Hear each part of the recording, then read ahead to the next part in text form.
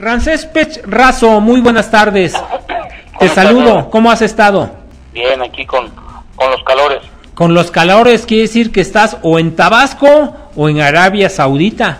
No, en Tabasco. Andas por Tabasco, como siempre, en, en el viaje y recorriendo estas zonas y lugares del petróleo. ¿Qué nos platicas? ¿Qué ha sucedido con Pemex? Este anuncio de 73.450 millones de pesos que se le inyectan a la petrolera mexicana, ¿realmente le resolverán el problema o es un simple mejoralito? No, es, simplemente lo que se está haciendo es, una, es cambiar la percepción financiera que tiene Pemex, porque acuérdate que hace como 15 días los certificadoras lo que indicaron es que la nación tenía un problema de certificación y eso y estaba afectándole su valor de calificación de la de, que Pemex estaba bajando su nivel crediticio y lo que están haciendo es ver cómo Pemex puede tener una mejor nivel crediticio. Sin lugar a dudas, no se puede desligar a la petrolera mexicana, a Pemex, con el gobierno mexicano, que es su principal accionista, ¿no? O el único accionista de la petrolera. Si la petrolera no paga, pues realmente el que no está pagando es el gobierno mexicano. ¿Esto podría traer una repercusión en el costo del dinero y de las inversiones para México? Eh, en el sentido, en su momento sí, si Pemex no, no, se mantiene en su calificación crediticia, porque si, si eh, por ejemplo, certificado Modis y las otras llegan a bajar la calificación, como lo anunciaron hace 15 días, la certificadora afectaría a la nación. Pero, ¿cómo hacer para ubicar a Pemex en una posición de calidad crediticia buena cuando a sus proveedores simplemente no les puede pagar, aún con esos 73 mil millones de pesos. Hay que recordar que debe más de 190 mil millones de pesos en este momento a sus proveedores directos.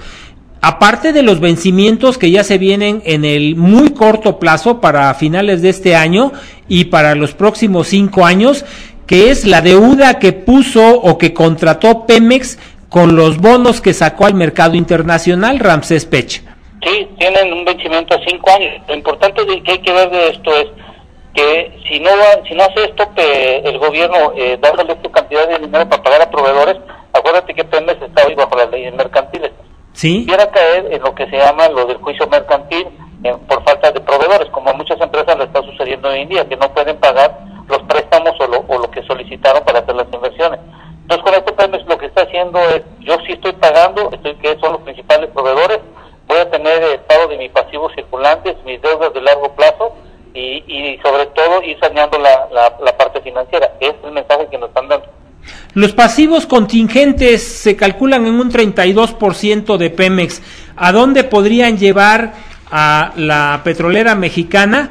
Eh, si se cumple con el pago a proveedores, ¿cómo podrían hacer para pagar estas deudas contingentes y, los intereses? Bueno, lo, que hay que ver es, primero, como tú lo has comentado, eh, hay muchas compañías que tienen, un contrato con, con Pemex. Lo que hay que ver cuál es la forma como se contrataron. En ese sentido, por ejemplo, si tienes un contrato de 2014 o 2015, hay que evaluar a cuántos días estabas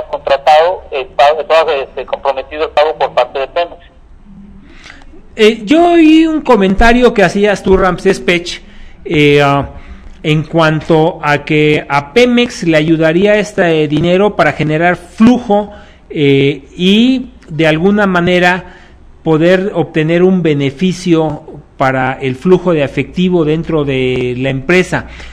Lo que yo me pregunto es, ¿de qué manera hacerlo si no hay venta, por ejemplo, de, petróleo y gasolinas? Y con lo que se viene de estas eh, franquicias que van a meter eh, gasolinas basura a territorio mexicano, Pemex va a dejar de vender esa gasolina. Se le va a achicar el mercado. ¿De dónde va a sacar los recursos?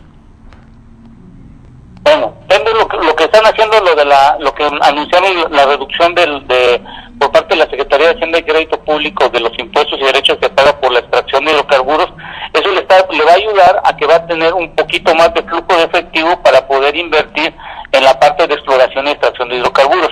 Lo que te refieres a los combustibles y todo lo demás, el PEMES ya no tiene el compromiso este, para realizarlo, sino que podría cualquier otro tipo de mercado.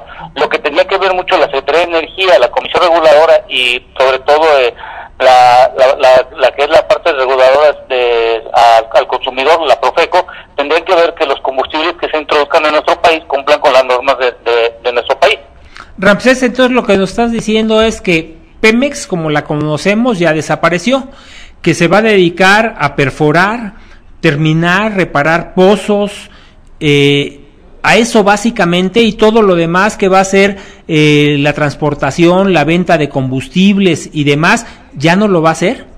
No, no necesita realizarlo porque tendría que hacer una inversión y acuérdate que Pemex recibe un presupuesto de egresos de la federación proviene del, del presupuesto de, de egresos que se hace cada año y por lo tanto Pemex como ya no tiene la necesidad de hacer tanto la inversión y sobre todo la nación de reducir la exposición de dinero, eh, puede absorber el mercado de toda la actividad que Pemex nos resulta ser un negocio.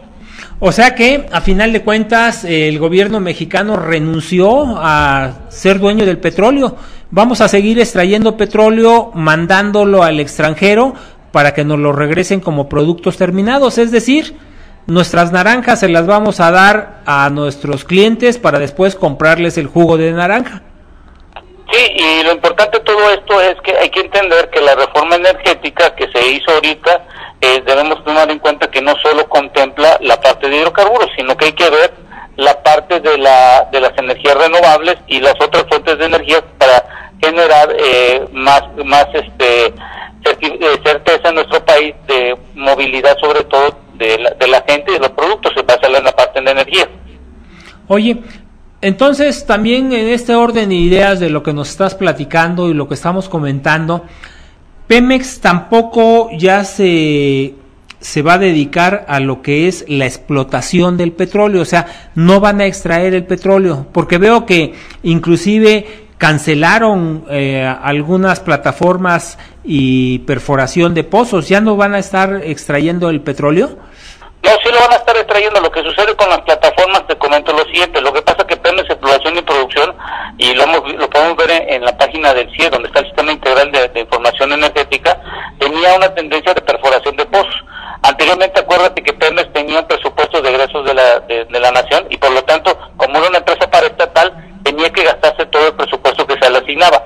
No, este, no estaba en función del precio del barril, es decir, que si el barril costaba 180, él tenía que gastarse forzosamente el presupuesto porque estaba dentro de una, eh, eh, de una imagen paraestatal. O la, ser una empresa productiva del Estado no puede gastar todo el dinero que le asigna el presupuesto, sino tiene que llenar utilidades y el presupuesto que le dan es para cubrir sus costos.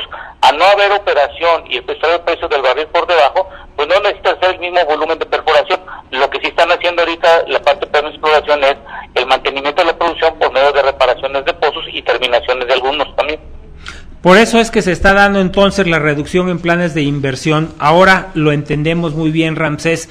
Te agradezco muchísimo por la información que nos has proporcionado y sobre todo por la calidad de tus comentarios.